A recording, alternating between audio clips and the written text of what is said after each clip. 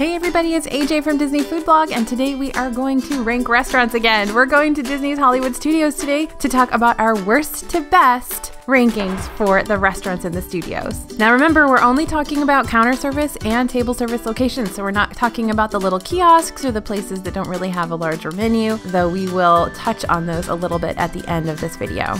So, in case you're wondering, we will be talking about Baseline Tap House in this video. That's a brand new location that just opened in the Grand Avenue section of Hollywood Studios. We'll have a review for you at the end of this video, so please stay tuned, watch through the whole thing, and we will talk about Baseline after our rankings are finished. And also, if you want to know our favorites in Hollywood Studios, you can definitely head over to disneyfoodblog.com slash DHS list and sign up for our newsletter and we'll get you a handy dandy PDF with all of our favorites in the studios that you can take with you on your trip and check off your favorites. Okay, so let's get started with our least favorite.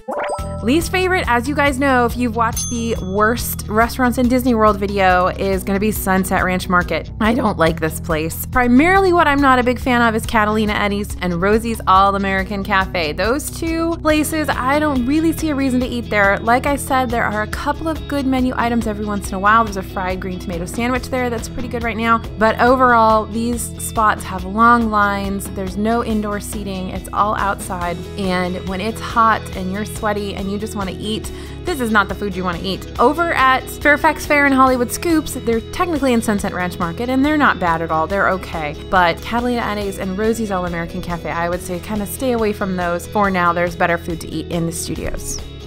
Okay, next, Pizza Rizzo. I love the theming here. I think it's super cute. I don't necessarily think that kids would understand the theming, even though it's supposed to be Muppets themed. I think that the theming is more for adults. It is kind of a New York City theme because, of course, Rizzo the rat is in charge here. So I don't think the kids are really gonna get it. And on top of that, the food here is pretty abysmal. It's those pillowy, kind of doughy pizzas, the counter service pizzas that Disney's been doing for years and years and years. And I really don't know why they can't get it together and get some, you know, good counter service pizzas. You know, they do flatbreads other places, and those are pretty good. Maybe they can start doing that here, but these pizzas are pretty bad. And the menu doesn't really have anything else on it that is excellent.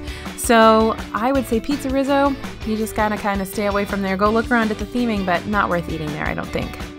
All right, next up, ABC Commissary. Now, ABC Commissary has okay food. They're changing up the menu a little bit, which I really like. They're doing some experiments where, you know, they bring the food to your table instead of you having to kind of bring it on a tray. They're making the food a little bit more upscale here, which I love. But the actual theming here is a dud. It looks like a cafeteria in an office building in New York City or in, you know, Studio City in California. It's boring. It's not fun to sit in there. Everything's sort of outdated and it's just not a magical magical atmosphere.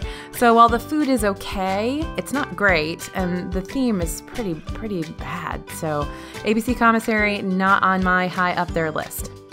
Okay, next I'm going to talk about Hollywood and Vine. So, Hollywood and Vine, some people love it, some people hate it. This one is a character meal right now. It's Minnie and Friends, so it's Minnie, Mickey, and a couple of the other Fab Five year round, but they do seasonal themes. At Christmas time, they'll be dressed in their Christmas clothes, and springtime, they're dressed in kind of springtime clothes, etc. So, you're going to see a different theme depending on what time of year you're there with the characters. Now, the food here, in my experience, has been pretty decent. I actually thought that this was quite a decent buffet but I've heard some accounts recently that people have really said this is a bad restaurant. You don't want to go here. It's not good food. So maybe with the switch over to the Minnie character, the or the Minnie and Fab Five characters, maybe the food got worse. I haven't been recently, so I'm going to say I enjoy it when I'm there, but I'm hearing a lot of people say, no, not for me. Don't go. Don't waste your money. So I'm going to throw that one right here in the middle.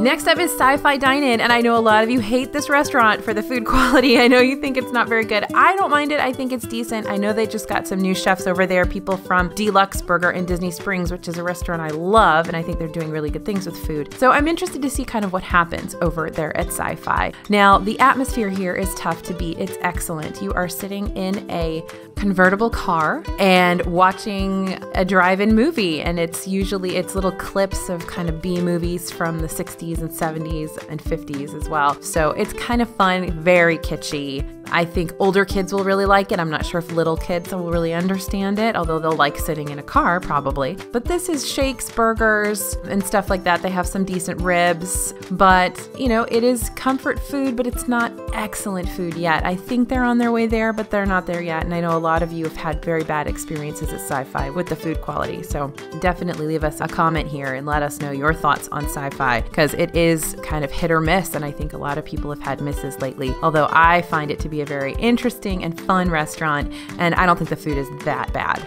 All right, next up, we are going to Backlot Express, which is my favorite counter service location in Hollywood Studios. I think they do a really, really good job. I think the theming here is fascinating and a lot of fun. It's like you're on a Hollywood backlot. So there's lots of props, there's lots of signage up for the people who are working on the fictional shows that are going on. So it's kind of fun to wander around and look at all the props and all the theming. Food here is pretty standard. They do have a bit of a Star Wars menu here still. They've got Darth Vader waffles and some other themed items on the menu.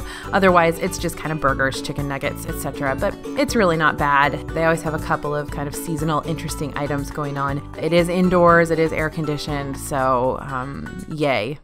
All right, next I'm going to Mama Melrose Ristorante Italiano now. Some of you don't like this. I know we got a few comments on our worst restaurants in Disney World telling me you were not a fan of Mama Melrose. This place has very interesting theming as well. I've never quite understood how they think this works. Mama Melrose is apparently from New York and moved out to California, and so it's kind of a mix of Little Italy and LA. So that's the best I can do in terms of what it's supposed to be. It is Italian food. I think it's it's about on a par with Olive Garden, maybe a step up from Olive Garden. I've had excellent meals here. I will say straight up, I love the food here. I love their steak. They pair their steak with this amazing macaroni and cheese, and I get it and I adore it. I get it all the time. I've had their pasta dishes here. Those are great. So I really enjoy this restaurant. I've had really good service here, but I know some of you haven't. So please let us know in the comments what your thoughts are about Mama Melrose.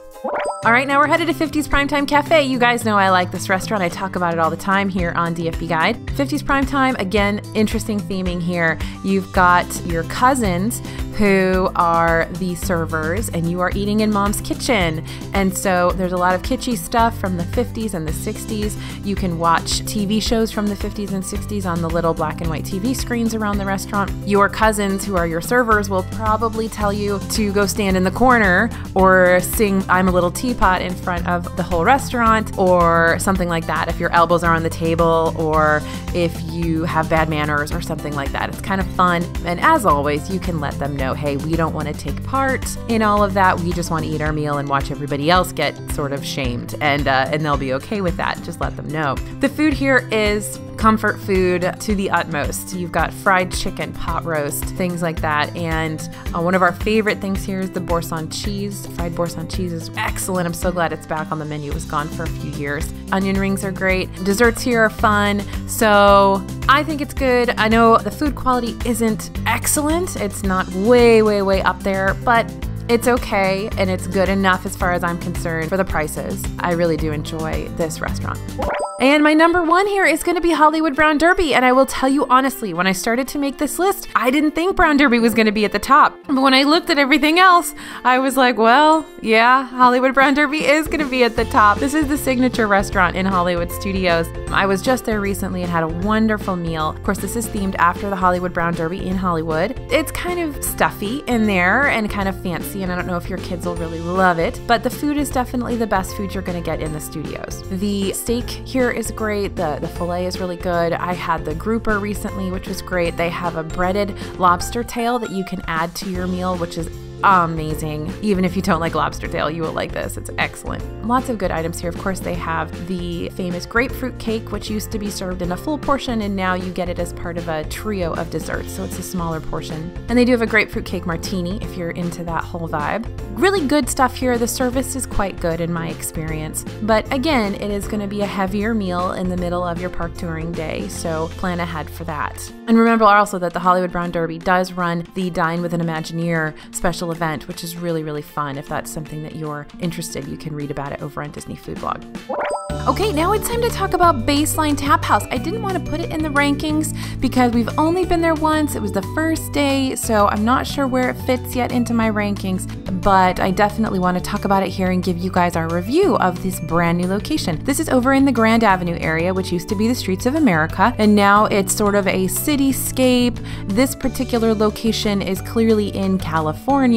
They've got a lot of Disneyland paraphernalia around on the walls and stuff. And you'll also see an interesting thing about Baseline Tap House is that it is located in a former printing company house. And of course, this place replaced Writer's Stop, those of you who remember Writer's Stop. And so I think it's really cool that the theme has kind of gone through. This place started as Ellen's By the Book back when Hollywood Studios first opened, then moved to Writer's Stop, and now it's this tap house that's located in an old printing company. So you've got this sort of like book theme going through.